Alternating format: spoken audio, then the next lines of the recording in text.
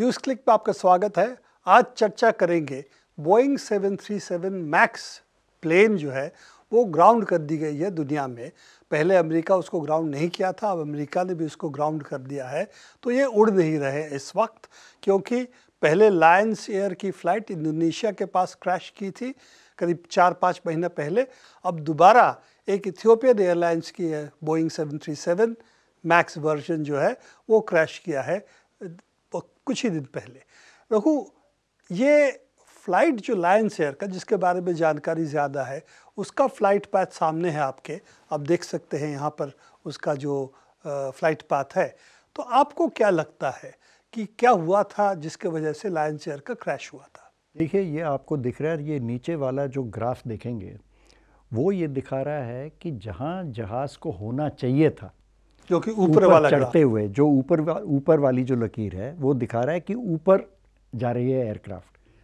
तो इसमें क्या हुआ है कि इंजन से एक सिग्नल मिलता है जहाज़ के कंट्रोल सिस्टम में। उसको लगता है कि ये कुछ ज़्यादा ही ऊंचाई की तरफ़ बढ़ रहा है और इसका आगे का हिस्सा जो है उसको नीचे कर देना चाहिए। उसको नोस करते हैं उसको नोस कहते हैं उसको नीचे कर देना चाहिए। तो वो नीचे करता है उसको ऑटोमेटिकली तो पायलट सोचता है भाई ये नीचे क्यों हो गया? मुझे तो ऊपर चढ़ना चाहिए। वो फिर उसको ऊपर करता है। फिर ऑटोमेटिक सिस्टम उसको नीचे करता है। तो ये पायलट और ऑटोमेटिक सिस्टम के बीच में झगड़े में वो हवाई जहाज़ वो दिख रहा है आपको टग ऑफ़ वॉर जो हो रहा है वो दिख रहा है आपको जहाँ जहाज़ को ऊपर जाना चाहिए उसकी जगह वो ऊपर चढ़ता नहीं है और धीरे धीरे फिर वो नीचे फ्लैट रास्ते पे जा रहा है इसके बाद फिर क्रैश तो ये जो सिस्टम है आप जो कह रहे हैं कि ऑटोमेटिक सिस्टम जिसको एम कैस कहा जा रहा है कि ये एम कैस सिस्टम का आ, मकसद यही है कि वो चेक करना क्या फ़्लाइट की जो लग जो फ़्लाइट पाथ है बहुत स्टीप बहुत बहुत जल्दी चढ़ रहा है, इस तरह नहीं होना चाहिए। तो इसको जब ऐसी स्थिति दिखाई पड़े तो उसको नीचे कर देना चाहिए। आप जो कह रहे हैं कि ऑटोमेटिकली पर इस ऑटोमेटिक जो आपको एमसीएस सिस्टम एम सिस्टम जो है ऑटोमेटिक जो है, ये ऐसा नहीं कि मैनुअल मोड में कर दे पायलट तो ये काम नहीं करेगा। मैनुअल मोड में भी ये काम करता रहता है। ये अलग एक ऑटोमेटिक सिस्टम है सिर्फ़ जिसका काम है इस नोस को नीचे करना अगर बहुत ज़्यादा उसको लगता है। और इसमें पायलट के हाथ में एक ही तरीका है इसको रोकने के लिए। या तो वो झगड़े में फंसेगा या जो आपको यहाँ दिख रहा है पीछे के साइड में जिसे टेल आ, कहते हैं उस साइड में वो जो एक लीवर है ऊपर नीचे करने का एयरक्राफ्ट को उसको ऑटोमेटिकली पायलट को उसको ऑफ़ करना पड़ेगा। ऑटोमेटिक जो उसका है ट्रिम है ट्रिम है उसको, उसको ऑफ़ करना, करना पड़ेगा।, पड़ेगा। तब जो है ये सिस्टम ना ही काम करे। पर ये चीज़ बोइंग के मैनुअल में नहीं है। उन्होंने ठीक से ट्रेनिंग लगता है कि नहीं दी है पायलट्स को कि ये करना पड़ेगा। तो पायलट इसमें कन्फ्यूज़न का टाइम होता है जब एयरक्राफ्ट टेक ऑफ़ करता है सडनली उसको लग रहा है कि ऊपर नीचे ऊपर नीचे हो रहा है तो उसी कन्फ्यूज़न में पायलट भी ज़्यादा गौर नहीं कर पाता इस बात पे कि मुझे हाँ इसको बंद करना चाहिए ट्रिम को बंद करना चाहिए क्योंकि उसके सामने मैनुअल में नहीं लिखा। ये जो आप कह रहे हैं कि मैनुअल में नहीं लिखा ट्रेनिंग की बात अब कर रहे हैं अब जो साफ़ है कि मैनुअल पे ये थी नहीं।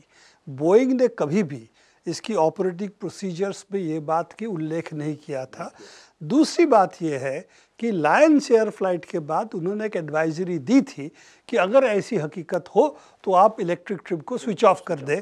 पर यह एक एडवाइजरी था, ये कभी इस तरह से पायलट्स के सामने आया नहीं था।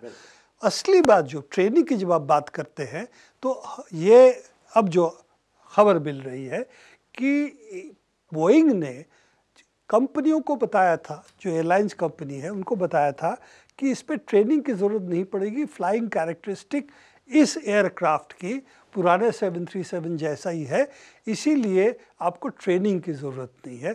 हकीकत है कि ये जो एम सिस्टम, ये जो है, नई चीज़ थी और इसका खासियत कि ये मैनुअल मोड पे भी काम करता पायलट्स को न मालूम था, ना इस पर ये ट्रेन हुए थे। बिल्कुल।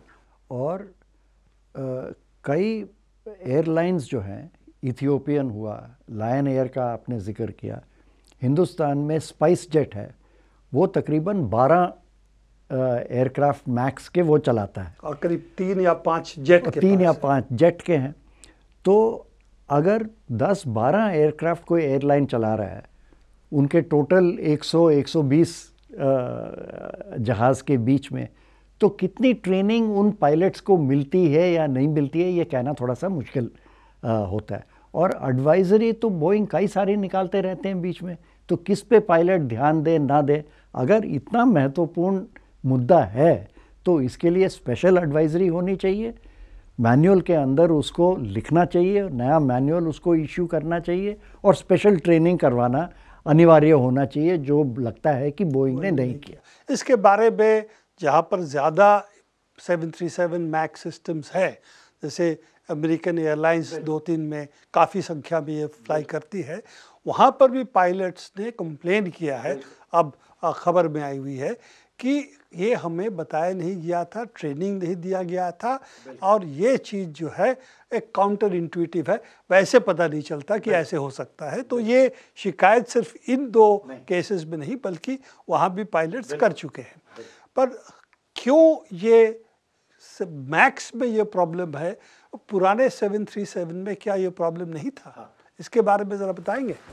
ये अगर आप तस्वीर देखेंगे ये दिखाता है ये नीचे जो तस्वीर है ये पुरानी 737 डैश 800 जिसे कहते हैं उस वाला मॉडल और ऊपर की जो तस्वीर है वो मैक्स को दिखाता है। तो ऊपर वाली तस्वीर में अगर थोड़ा सा गौर से देखेंगे ये इंजन थोड़ा सा नीचे लगा हुआ है उसके मुताबिक। ये इसलिए है कि ये 737 मैक्स जो जहाज़ है, इस पर एक इंजन लगा हुआ है सी एफ़ एन इंजन कहते हैं इसको, जिसमें ईंधन बचाने की टेक्नोलॉजी है। और ईंधन अगर बचाना है इंजन में तो पहली चीज़ वो क्या करते हैं, इंजन के सामने का जो हिस्सा है, उसमें एक पंखा या फ़ैन जो होता है, उसको बड़ा करते हैं।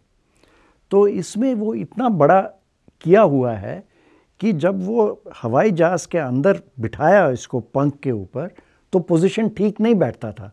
तो उसको तो ज़मीन काफ़ी नीचे आ जा, नीचे आ, आ रहा था। तो उसको थोड़ा उठाना भी था। फिर उसको एक एंगल दिया। तो ये कर कुर के फिर क्या होता है कि क्योंकि ये इंजन थोड़ा भारी भी है तो हवाई जहाज़ में एक टेंडेंसी आती है कि वो नाक उसका थोड़ा नीचे हो जाता है उसका नोज़ नीचे हो जाता है क्योंकि, भारी, भारी इंजन है और जिसका पोजीशन जो है पोजीशन ऐसे है। तो फिर क्योंकि उस उसका नोज़ नीचे हो रहा है पायलट उसको कॉम्पनसेट करने के लिए उसको ऊपर करने की कोशिश करता है। ऊपर अगर करेगा तो ये जो एम कैस ऑटोमेटिक सिस्टम है वो सेंसर डर जाता है कि शायद ये ज़्यादा ऊपर ना कर दे। तो इसको करेक्ट करने के लिए बोइंग ने ये मॉडिफिकेशन इंट्रोड्यूस किया कि अगर इसका नोज़ थोड़ा ज़्यादा ऊपर हो रहा है तो ऑटोमेटिकली इसको डाउन कर दो। तो टग ऑफ़ वॉर जो तो ये टग ऑफ़ वॉर की बात की थी वो शुरू हो जाए और एम कैश सिस्टम में भी ये बात है कि उस पर एक ही सेंसर था एक एक एम कैश में। तो इसीलिए भी अगर सेंसर खराब हो जाता तो बड़ी जल्दी ये प्रॉब्लम डेवलप होता है। और आखिरी बात जो है कि बोइंग और एयरबस एयरबस में कंपटीशन है। यही दो ही घोड़ा रेस में है।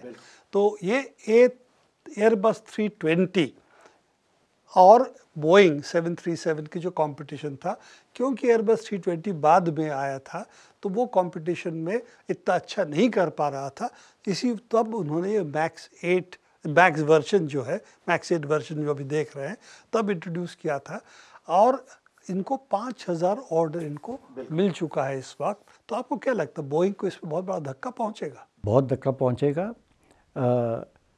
हैरानगी की बात यह है कि एयरबस ए थ्री ट्वेंटी उसमें भी एक मॉडल है ए थ्री ट्वेंटी नियो जिसमें यही इंजन लगा हुआ है। पर एयरबस ने उस इंजन को फिट करते समय लगता है कि बेहतर तरीके से किया है। जिस पे इस तरह की मॉडिफिकेशन की ज़रूरत नहीं पड़ी। या तो उनको विंग ही थोड़ा ऊँचा था तो इसलिए इतना प्रॉब्लम नहीं हुआ। तो अब बात यह है कि इन्होंने उन्होंने फ्यूल एफिशिएंट इंजन ईंधन बचाने के चक्कर में उन्होंने भी किया इन्होंने भी किया क्योंकि इसमें पंद्रह प्रतिशत का इजाफा है पेट्रोल के कंजम्पशन में। तो अच्छी बात है पर एयरबस इसको झेल पाई इस मॉडिफिकेशन को उन्होंने अपने जहाज़ों में डाला, तकलीफ़ नहीं हुई। अलग प्रकार के तकलीफ़ उनके नियो इंजन्स में हुए हैं, पर वो अलग बात है। इतने हद तक ग्राउंडिंग करने की ज़रूरत नहीं पड़ी थी उनको। अब इसको ठीक करने के लिए बोइंग को मॉडिफिकेशन निकालनी पड़ेगी एम कैस के सिस्टम को बदलना पड़ेगा। बदलने के बाद उनको फिर रीट्रेनिंग करनी पड़ेगी, इसकी सर्टिफिकेशन लेनी पड़ेगी। हर देश में अपने अपने सर्टिफिकेशन के एजेंसी हैं। अमेरिका में फेडरल एविएशन अथॉरिटी है इंडिया में डीजीसीए है यूरोप में उनकी अपनी एजेंसी है। हर एजेंसी अपना टाइम लेगा सर्टिफिकेशन करने के लिए। ये सब करने के बाद ही वो एयरक्राफ्ट ग्राउंडिंग से निकल के आएँगे मुक्त हो जाएँगे। तब तक कितने एयरलाइन बोइंग के ऑर्डर को कैंसिल कर दें और एयरबस को ख़रीद लें ये कहना मुश्किल है। और अगर आठ नौ महीने जो इसमें मिनिमम मुझे लगता है लग सकते हैं उतने टाइम तक ये पोजीशन झेलना बोइंग को काफ़ी मुश्किल हो सकता है और इसमें उनकी शेयर भी वैल्यू गिर रहा है। ऑर्डर्स भी कम हो रहे हैं उनके तो इसमें उनको क्योंकि फ्यूचर के जितने ऑर्डर्स हैं बोइंग के पास तकरीबन आधे उसमें से ऑर्डर मैक्स के वर्जन्स के लिए है। तो अगर ये फेल हो गया या एक साल से ऊपर लग गया इसको ठीक करने में तो बोइंग के लिए ये बहुत बोझ पड़ेगा। बहुत महँगा पड़ेगा। और फेडरेशन फेडरल एविएशन अथॉरिटी की जो आप बात करते हैं एफ़ उनकी भी कम से कम काफ़ी उनकी माथे पे कलंक लगा है इस बात पे कि उन्होंने ग्राउंडिंग इन एयरक्राफ्ट्स की बात भी की है। और बहुत लोग एफ़ की ठप्पा को मान के चलते हैं कि ये ठप्पा के बाद हमें देखना नहीं पड़ेगा वो क्रेडिबिलिटी भी चलेगी हमारे ही देश में कल रात तक डीजीसीए के प्रवक्ता टेलीविज़न पे कह रहे थे कि अभी कोई ग्राउंडिंग की क्या ज़रूरत है? एफ़ ने अभी तक इसको चलाया हुआ है बोइंग ने कोई ऐसी बात नहीं कही। हकीकत यह है कि एफ़ ए बोइंग कंपनी की ही बात को लेके उसी पे ठप्पा लगा रहा था, जो किसी भी रेगुलेटरी एजेंसी को नहीं करना चाहिए। खुद तुम कुछ प्रयत्न करके स्टडी करके, अध्ययन करके आपको अपने फैसले पे पहुँचना चाहिए। एफ़ ए बोइंग के बातों पे ठप्पा लगा रहा है। भारत का D G C F A को सुनकर अपना ठप्पा लगा रहा है। इसमें तो आप पैसेंजर को ही ख़तरे में डाल रहे हैं। और ये मतलब बहुत नुकसान पहुंचाएगा और आगे जाके दिक्कत आएगी इसमें। धन्यवाद रघु हमारे साथ इन चीज़ों को बताने के लिए। न्यूज़ क्लिक में फ़िलहाल इतना ही। देखते रहिएगा न्यूज़ क्लिक।